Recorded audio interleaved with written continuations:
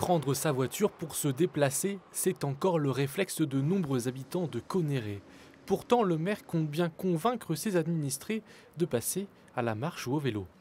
On pourrait penser que c'est utopique. Alors nous, notre objectif, c'est vraiment de travailler sur les déplacements courts.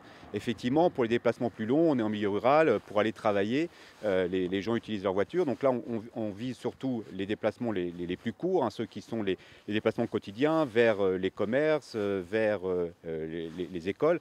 Pour l'instant, la ville possède très peu de pistes cyclables et de voies piétonnes, mais plusieurs devraient bientôt voir le jour, comme ici, sur cette ancienne ligne de chemin de fer. L'idée, ce serait de, faire passer euh, une bande cyclable ou une piste cyclable sur cet itinéraire, hein, de manière à, desservir pratiquement bah, toutes les grandes infrastructures de la commune situées euh, dans le centre-ville, en reliant euh, d'autres quartiers qui sont plus loin et qui sont au bout de cet axe et de ce chemin.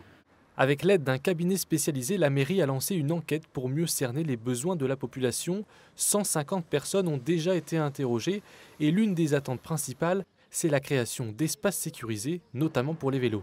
On pense que si euh, les gens n'utilisent pas plus le vélo, c'est aussi parce que les infrastructures ne sont pas adaptées, qui ne sont pas suffisamment en sécurité. Donc ici, il y aura effectivement à la fois un enjeu de continuité de cet axe qui est un axe majeur, et puis aussi à réfléchir à comment on, franchit euh, euh, la rue qui est, juste derrière de façon sécurisée.